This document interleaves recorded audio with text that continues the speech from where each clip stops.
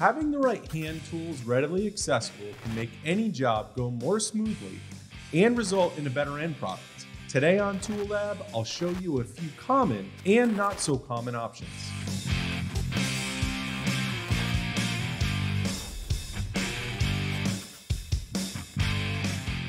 Hi, I'm Chris Ermides.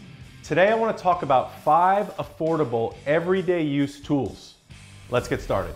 First up, is the Pica-Dry marker.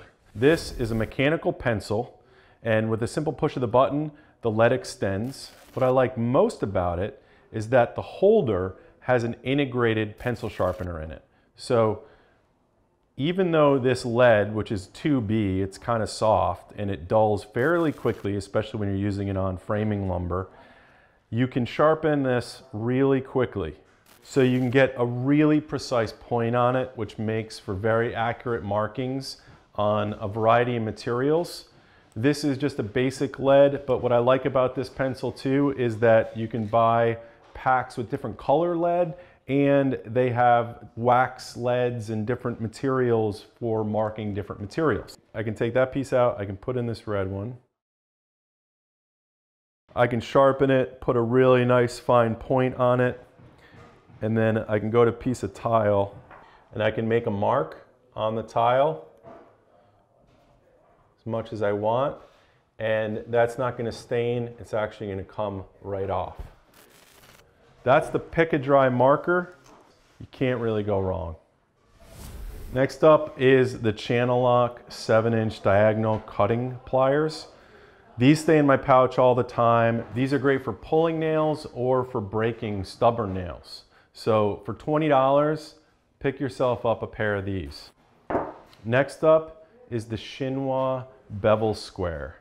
Now, bevel squares are very basic tools and they usually have a knob here to tighten them.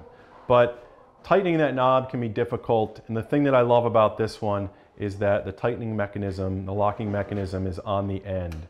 So no matter where you are, no matter where the angle is. You can always lock it and I can take this right here and bring it over to my miter saw and place it down in either direction and I don't have to worry about the locking nut getting in the way. So for $30, I think this is a great deal.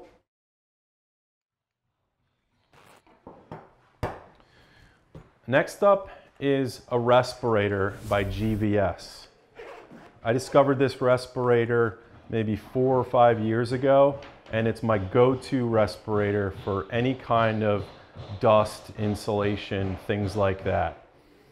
I love the way it fits. It's very comfortable. It's not obtrusive. And you can replace the filters in it, which is really nice. So for $30, you can get this respirator and this is extra, but I highly recommend buying the case to keep the thing protected at all times.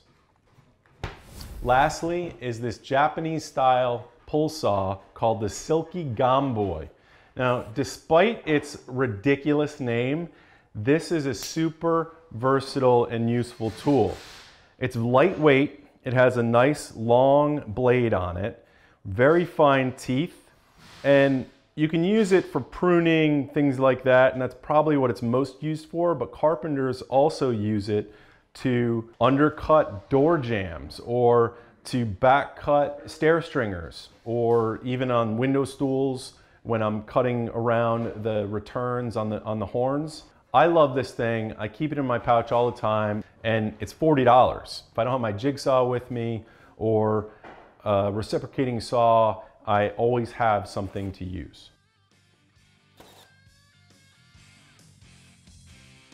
I hope this was helpful. If there are other topics you'd like to hear us cover, please send us an email at toollab at thisoldhouse.com. Thanks so much for watching. Until next time, I'm Chris Ermides.